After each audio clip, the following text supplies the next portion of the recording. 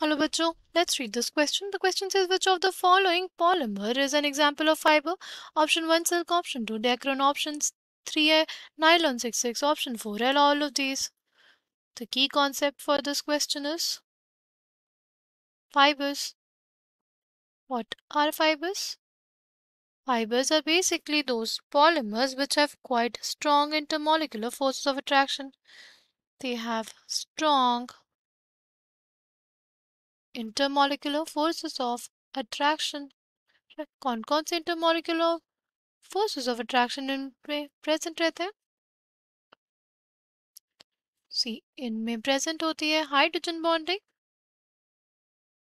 और इनमें प्रेजेंट होता है डायपोल डायपोल इंटरैक्शंस राइट ये जो पॉलीमर्स होते हैं, ये फाइबर्स बनाने के यूज़ में आते हैं राइट क्योंकि they are long and thread like क्यों यूज़ आते हैं?